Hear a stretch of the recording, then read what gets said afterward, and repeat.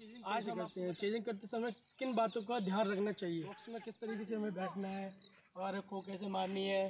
तो आइए तो हम आपको बताएँगे कैसे बैठना है। बॉक्स में या एक पैर ऐसे रखिए या ऐसे रखिए।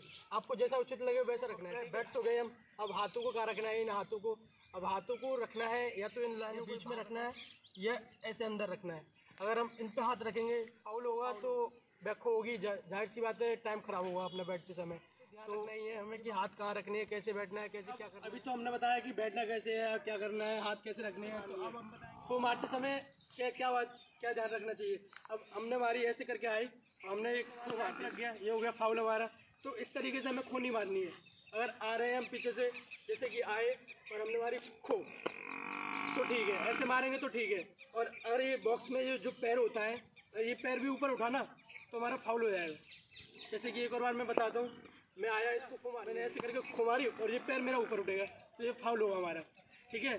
और जैसे कि अब हम आपको बताएँगे कि पोल मारेंगे। पोल मारते समय किन बातों का ध्यान रखना है? जैसे कि अभी तो हमने इसका बताया खो मारते समय पोल मारने गए और ऐसे करके हमने पोल मार दिया।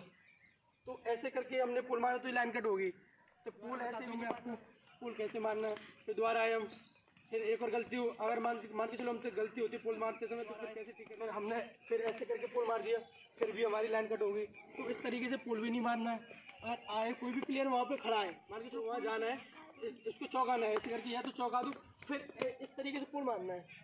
ना कि लाइन कट करनी है। दोबारा एक और बार बताता हूँ जैसे कि अब हम प्रॉपरली तरीके से पुल मारेंगे ठीक है? वहाँ पर मार के चलो कोई प्लेयर खड़ा है कोई भी खड़ा है एक्स वाई जेड दूर से पुल मारते हैं ऐसे करके। ठीक है?